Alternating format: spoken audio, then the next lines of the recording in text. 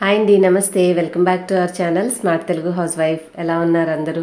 So ఇంటి దగ్గరే ఉండండి క్షేమంగా ఉండండి. మరి ఇంటి దగ్గరే ఉంటే ఎన్ని వంటలు చేసినా కూడా ఇంట్లో ఉన్న వాళ్ళందరూ తింటూ అయిపోతూనే ఉంటాయి కదా? సో ఆబ్వియస్గా నేను కూడా మా ఇంట్లో ఒక కొత్త రెసిపీ చేశాను బటర్ కుకీస్ అవి ఆ రెసిపీ వాళ్ళ మీతో షేర్ చేస్తాను.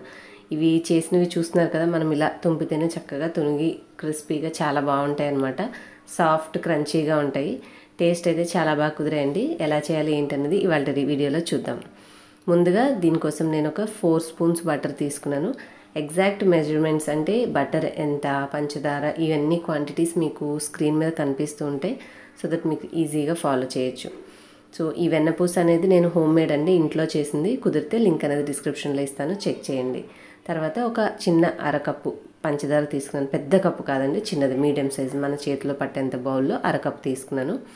దాన్ని కూడా కొంచెం కొంచెం వేసుకుంటూ కలిపితే ఏంటంటే వెన్నపూసలో ఇది బాగా కలుస్తుంది. ఇలాగా వెన్నపూస పంచదార పొడి రెండు కలిసేలాగా మనం కలుపుకోవాలి. కొంతమంది బెల్లం యూస్ చేయొచ్చు అని మేబీ అడగచ్చు. బెల్లం వల్ల ఏంటంటే అది ఒక పాకంలాగా అంటే ఎక్కువసేపు కుక్ అయిన తర్వాత అది డిఫరెంట్గా క్రిస్టలైజ్ అయిపోతుంది. సో బెల్లం సజెస్టబుల్ కాదండి. పంచదార పొడితోనే ఇది బాగుంటుంది. సో ఇప్పుడు ఇవి బాగా కలిసేలా కలుపుకోవాలి. చేతితో అయితే విస్కర్తో కానీ స్పూన్తో కానీ చాలాసేపు పడుతుంది. ఒక మూడు నుంచి నాలుగు నిమిషాలు బాగా గరిటెతో మనం ఇట్లా ఇట్లా కలుపుతూ ఉంటే ఒక క్రీమీగా తయారవుతుంది అనమాట ఎలక్ట్రిక్ బీ బీటర్ ఇప్పుడు నేను యూజ్ చేసే లాంటిది అయితే కొంచెం మనకు ఒక నిమిషం రెండు నిమిషాల్లో పని అనేది తేలిగ్గా అయిపోతుంది. దీంతో బ్లెండ్ చేస్తే రెండు బాగా కలిసిపోతాయి. ఒక బటర్ క్రీమ్ లాగా తయారవుతుంది. ఇలా రెడీ చేసుకున్న తర్వాత ఇంకా స్టాప్ చేసేసి మనం ఇది బ్లెండర్ అనేది పక్కన పెట్టేసుకోవచ్చు. నెక్స్ట్ ఇంగ్రీడియంట్స్ చూద్దాం. ఇప్పుడు దీంట్లో ఒక గుడ్డు వేసుకున్నానండి. గుడ్డు అలాగే ఈ గుడ్డు స్మెల్ రాకుండా కొన్ని వెనిలా ఎసెన్స్ డ్రాప్స్ కూడా వేసుకున్నాము. ఇప్పుడు ఇవన్నీ కూడా బాగా కలిసేలాగా కలుపుకోవాలి. నేను ఇక్కడ వైట్ వెనిలా ఎసెన్స్ డ్రాప్స్ వాడానండి. అందుకే అది తెల్లగా కనిపిస్తుంది. మామూలుగా షాప్స్లో ముదురు రంగులో ఉన్నాయి కూడా కనిపిస్తాయి. సో మీరు ఏది వేసుకున్నా కూడా మనకు ఓన్లీ వెనిలా ఫ్లేవర్ అనేది వస్తుంది. సో కలర్ని బట్టి మనం ఏం చేంజ్ చేయాల్సిన అవసరం లేదు. మీ దగ్గర ఏది అవైలబుల్గా ఉంటే అదే యూస్ చేయండి. చక్కగా మనం వేసిన ఎగ్ మిశ్రమం కానీ అలాగే వెన్నపూస పంచదార పొడి వెనీలా డ్రాప్స్ అన్నీ బాగా కలిసిపోయినాయి అనమాట సో ఇప్పుడు మనము ఈ ఏదైనా స్ట్రైనర్ ఇలాంటిది పెట్టుకొని దాంట్లో ఒక కప్పు మైదాపిండి తీసుకోవాలి. మైదాపిండి తీసుకున్న తర్వాత దీంట్లోకి ఒక రెండు స్పూన్లు కార్న్ఫ్లోర్ తీసుకొని కొంచెం బేకింగ్ పౌడర్ బేకింగ్ సోడా అంటే వంట సోడా అండి. అది కాదు బేకింగ్ పౌడర్ అని చిన్న బాక్స్ లాగా మనకి దగ్గర దగ్గరగా చూడడానికి కార్న్ఫ్లోర్ లాగానే ఉంటుంది. అది కూడా అంటే టెక్స్చర్ అట్లా పట్టుకుంటే చేతికి. సో అది ఒక అర స్పూన్ వేసుకొని మనము జల్లించుకోవాలి. జల్లించుకుంటే మొత్తం అన్ని పదార్థాలు బాగా కలుస్తాయి. ఇప్పుడు మనం ఇందాక బీట్ చేసుకున్న ఈ మిశ్రమంలో ఈ పౌడర్ అంతా కూడా మంచిగా కలిసేలాగా కలుపుకోవాలి.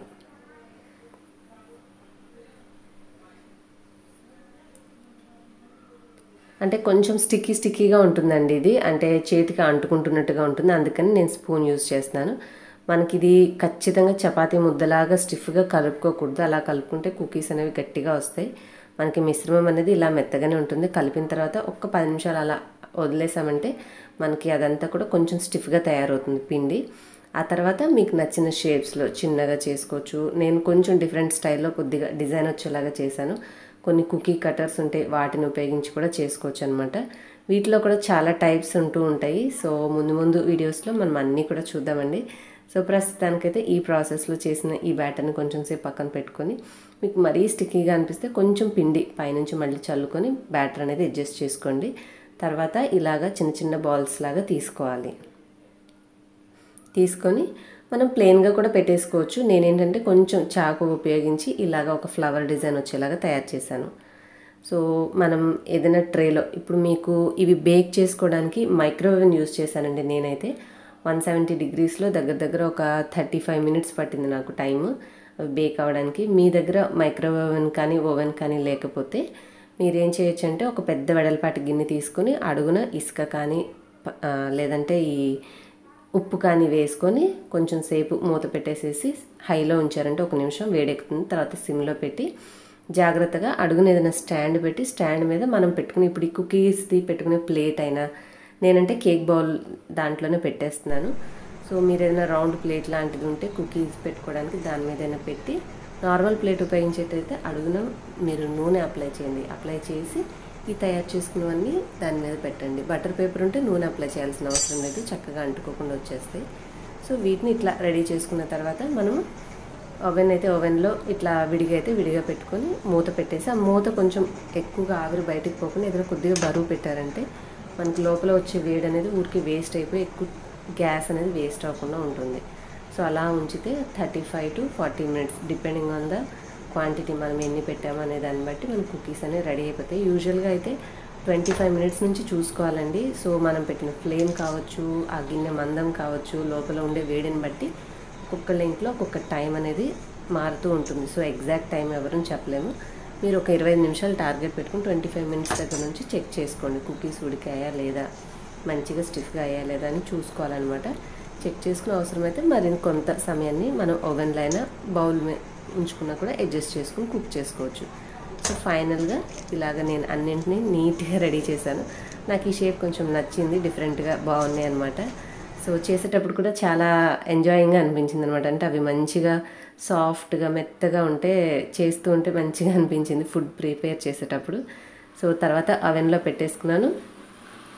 నేను చెప్పినట్టుగా నాకు థర్టీ ఫైవ్ మినిట్స్ పట్టిందండి. ఆ తర్వాత తీసి చూస్తే పర్ఫెక్ట్గా వచ్చాయి. సో కొంచెం ఇంగ్రీడియంట్స్ అనేవి జాగ్రత్తగా కలుపుకొని మనము కుక్ చేసుకునేటప్పుడు కూడా అలా వదిలేసేయకుండా చెక్ చేసుకుంటూ ఉండాలి. బటర్ పేపర్ ఉంది కాబట్టి అంటుకోకుండా పర్ఫెక్ట్గా నీట్గా వచ్చేసాయి. ఇట్లా మనం చేత్తో అంటే తునిగేలాగా ఉన్నాయన్నమాట. సో మీరు కూడా ట్రై చేయండి.